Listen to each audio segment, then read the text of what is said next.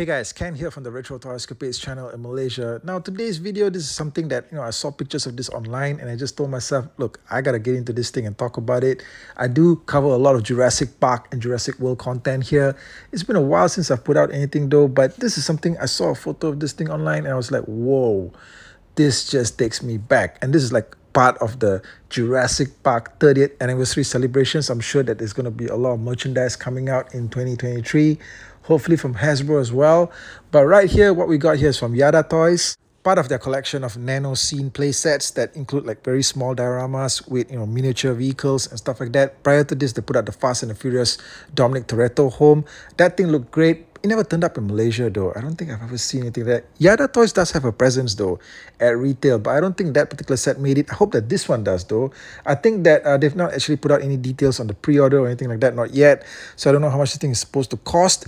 I don't think it's going to cost that much though. Alright, I think it's going to be pretty affordable. You know, Jada Toys is pretty much in a fixed range, but uh, it just looks amazing. It just takes me back. 1993, I saw Jurassic Park, the first one in cinema when it first came out. And in fact, it was you know, I talked about this on the channel as well, I think previously. It was legitimately a first date kind of movie for me back then. Uh, yeah, you know, the person that I was seeing at the time, you know, I was seeing her for a great number of years. So it really brings back a lot of memories. And I gotta say that, you know, that was at the time that teenagehood for me was basically coming to an end. It was one of the best years ever, I think, uh, because after that, everything just got freaking serious, okay? Like uh, college and you know reality checks okay i mean getting a job and stuff like that getting into a career. So i think that was like the turning point all right? 1993 was just a really great year and this is one of the best movies that ever came out. This is one of those all-time perfect movies. When i think about it it's like nothing about this movie needs to be changed. It doesn't need to be remade. I hope it never gets rebooted or anything like that. I mean if they want to continue the story as a tv series at some point sure okay. But i think that this is one of those movies that just deserves its permanent place in history. You know just like all of the greats out there the terminator the first one the first Predator movie, Die Hard, the first one, of course. Uh, you know, everything else, okay, Back to the Future. None of these movies need to be remade or rebooted. Jurassic Park, the first one, is just definitely one of them. You know, none of the sequels ever really stood up. The only one that I really liked was the first Jurassic World, okay, uh, 2015. And the reason why I like that is because I went into that movie not knowing that it was actually going to be like directly pulling on all the nostalgia factors from the first movie, right? Literally, we revisit the first park again. And that to me was just mind blowing. Okay, when they pulled that stunt, I was like, okay, you know what? You guys got me, all right? But none of the other movies ever worked. And you know what? This is one of those situations where, you know, when I think of something like Jurassic Park, it's just like this gigantic well that holds so many great memories for me. And this particular playset here, the Nano Scene playset, it captures one of the best scenes in the movie. The first time they actually enter the park through the giant gates, and it's like, whoa you know, what the hell is this supposed to be? Okay, all right, where are we going? And uh, this particular scene, all right, this particular gate, in fact, uh, I'm just surprised that prior to this, other than Kenner, okay, back in the 90s, okay, nobody else has ever done a playset like this that captures the gate entrance. I don't know, maybe they thought it wasn't necessary, but uh, this is one of those things that's sorely lacking in a modern day update. They've had like, you know, thousands of new dinosaurs being released since then, okay, and Mattel's been doing a great job as well. But Mattel probably, you know, is not interested in maybe going down the route of playsets. Kenner did back in the day, definitely.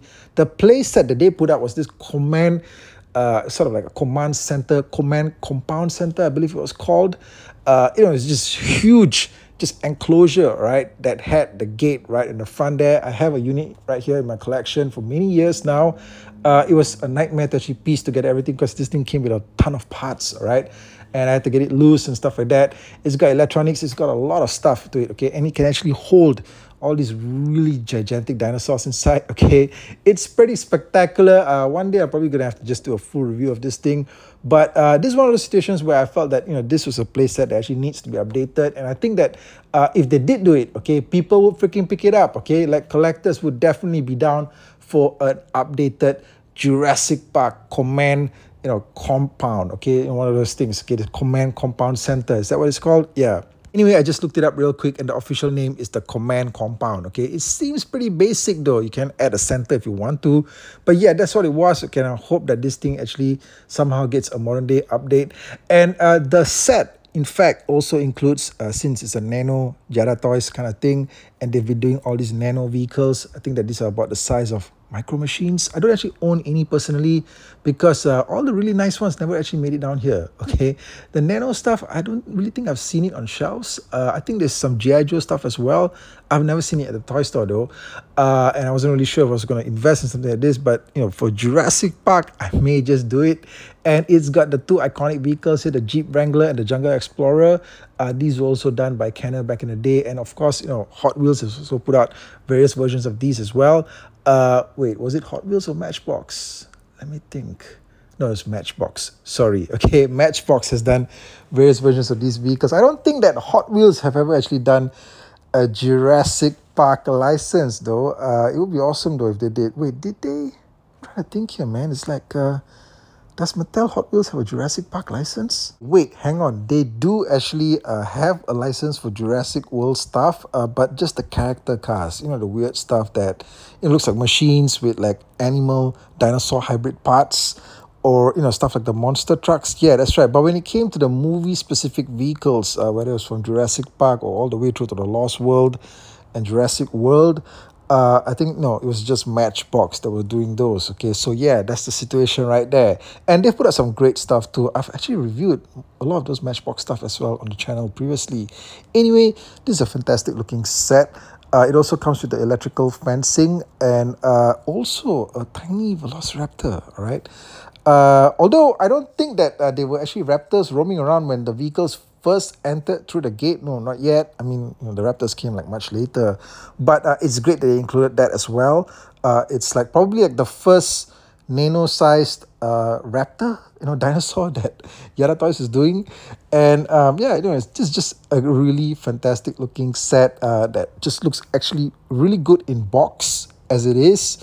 But of course, if you get it, you want to probably open it up and you know find a place to display it and actually just handle the vehicles and stuff like that. Uh, I'm pretty excited for this release. Okay, what do you guys think? Let me know in the comment section if you guys are down for this Jurassic Park 30th anniversary gate entrance nano scene. Yeah, I want to hear from all you Jurassic Park fans out there.